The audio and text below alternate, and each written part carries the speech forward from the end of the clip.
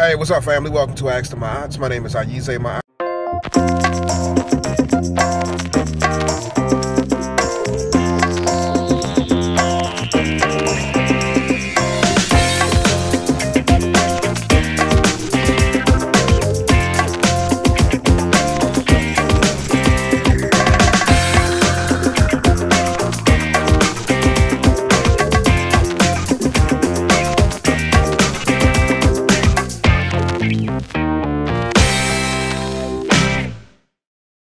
Real quick because I ain't supposed to be holding my phone and driving at the same time, but um, I need to get one of those camcorder dashboard type things. But I just want to make this statement real quick that that there's a lot of folks out here who are fed up in their relationships and they're frustrated by the fact that they feel like they're being spun by their partners. Um, one of the one of the sentiments that we often hear from both men and women is um, I'm getting tired of my man or my woman spinning me.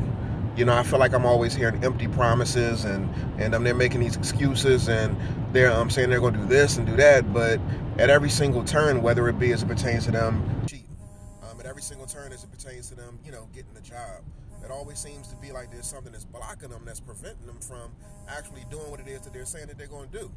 Um, and so they're frustrated. They're frustrated and sick and tired of being spun, um, being led to believe that something's going to be different this time. You've changed. You've had some type of epiphany, and that you're going to be a different person.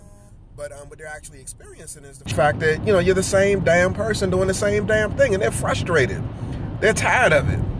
They're mad at themselves because they've actually subjected themselves to this belief, this idea that something will be different this time. But no, it's the same goddamn thing.